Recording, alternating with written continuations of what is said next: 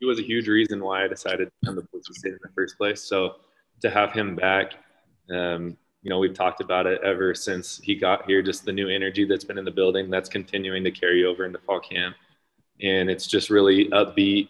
Um, they've done a great job at forming relationships, and guys truly do want to work hard because we love him and want to, you know, want to succeed for him. I think the best part of fall camp is there's no really time time limit that we have, so we get to be around each other so much and you know, it truly is awesome because you don't get that opportunity very often. It's only for the three weeks of fall camp. And, you know, once school starts, guys have school and you're not together as frequently as, as you are in fall camp. But in fall camp, being able to h- hang out with the guys, um, I mean, it is hard, like you said, but going through that with your brothers, it's awesome. And, you know, with this being my last one, I'm just trying to enjoy every single day as it comes. And, trying to take advantage of it because, like I said, I'm not going to have this opportunity again.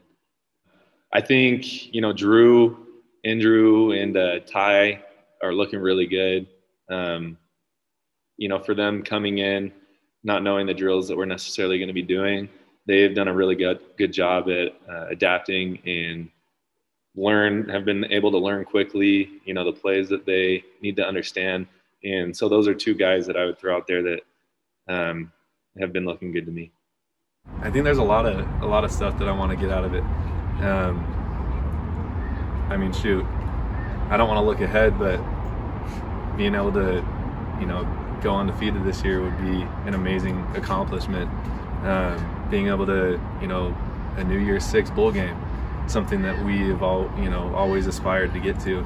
For us, I think in order to be great, you need to be able to create your own energy. You can't have you know, we talked about it this morning. You can't show up and expect something to happen and then you're like, okay, like now I have energy. Like you got to bring that energy yourself. And I think that's one thing that, you know, a lot of guys talk about is the energy that's around the building. I think everybody really does show up, you know, with the mindset to want to make an impact, a positive impact.